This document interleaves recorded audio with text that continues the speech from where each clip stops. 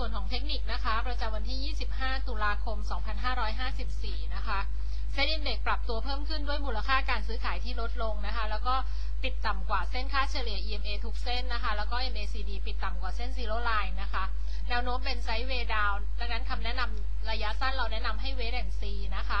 หุ้นแนะนำของเราในวันนี้ 4 ตัวแนะนำไปทางฝั่งขายนะคะ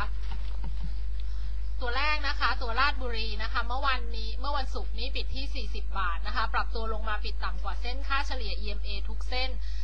ประกอบกับ indicator ทุกตัวให้ค่าสัญญาณลบนะคะ แนวโน้มเป็นขาลงแนะนำขายนะคะ แนวต้านอยู่ที่ 40 บาท 50 ถึง 41 บาทนะคะ แนวรับอยู่ที่ 39 ถึง 37 บาท 50 ค่ะ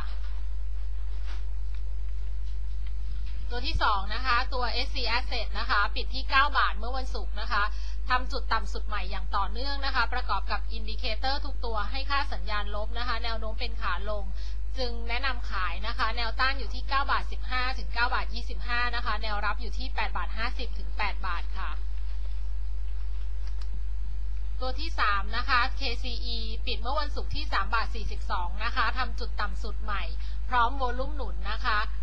ประกอบกับเส้นค่าเฉลี่ย EMA เรียงตัวแบบ bearish นะคะ แนวโน้มขาลงแนะนำขายแนวต้านที่ 3 บาท 48 ถึง 3 บาท 52 นะคะ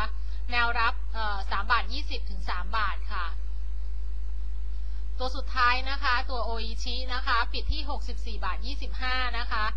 ปิดต่ำกว่าเส้นค่าเฉลี่ย EMA ทุกเส้นอย่างต่อเนื่อง และ indicator ทุกตัวให้ค่าสัญญาณลบ แนวโน้มเป็นขาลงนะคะ จึงคงคำแนะนำขายนะคะ แนวต้านอยู่ที่ 64 บาท 50 ถึง 65 บาทนะคะ รับอยู่ที่ 62ถึง60 บาทค่ะ ปิดการประชุมส่วนของเทคนิค